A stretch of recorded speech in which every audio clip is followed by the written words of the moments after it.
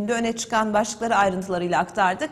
Dilerseniz şimdi de bir kısa haber turu yapalım. Bakalım başka neler konuşuldu, yaşandı, öne çıktı Denizli'de.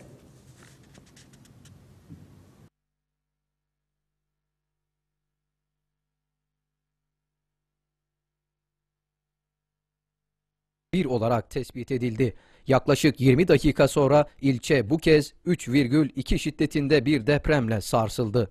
Denizli'nin çeşitli mahallelerinde oto hırsızlığı, ev ve iş yeri hırsızlıkları gerçekleştiren 5 kişi yakalandı.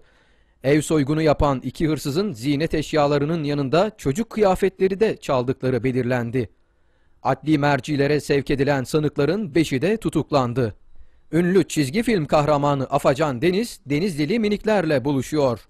Bir alışveriş merkezi Deniz isimli tiyatro oyununu 2-3 Mart tarihleri arasında sergileyecek. Denizli İl Genel Meclisi yarın toplanıyor. Meclis gündeminde komisyonlardan gelen 3 madde yer alıyor. Gündemde ayrıca İl Özel İdaresi'nin geçen yılki faaliyetleri değerlendirilecek. Aydem yarından itibaren 3 gün boyunca çeşitli noktalarda elektrik kesintisi yapacağını duyurdu. Merkezdeki 6 mahalle, 4 belde ve 5 köyü kapsayacak kesinti, Adalet Mahallesi, 29 Ekim Bulvarı ve Aktepe Mahallesi gibi önemli noktaları da kapsıyor.